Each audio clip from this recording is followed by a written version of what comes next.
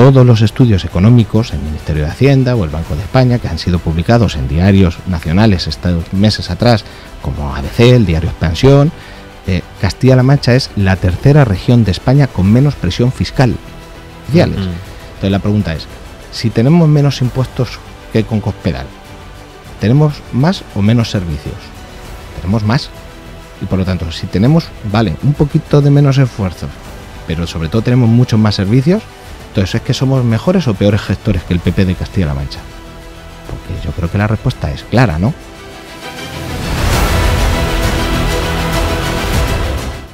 Y ahora se trata que los del PP de, de Murcia, Levante y Génova quieren incumplir, quieren girar, quieren que esa política que estamos haciendo hasta ahora dé la vuelta y vuelva a la época anterior. ¿El PP de Castilla-La Mancha lo va a permitir con su silencio? Porque si fuera paje usted lo tendría muy claro. Habría pegado una puñetazo encima de la mesa y habría dicho, por aquí Castilla-La Mancha no pasa.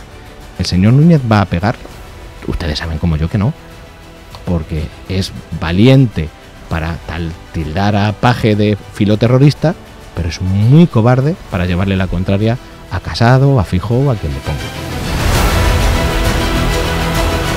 está todo el día hablando mal de Castilla-La Mancha.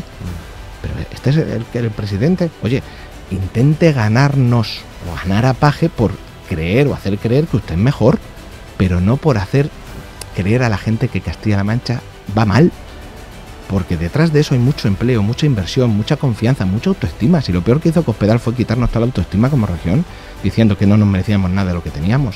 Y por esa linde camina Paco Núñez. En una situación tan seria como la que estamos viviendo, yo creo que necesitamos solvencias más que ocurrencias. Necesitamos gente con conocimiento más que gente con eslóganes. Y yo creo que aquí el señor Paje le da una barrida al señor Núñez, porque, porque hombre, eh, resumir unos presupuestos en Paje es amigo de Otegui, pues no se lo cree ni el señor Núñez que lo dice.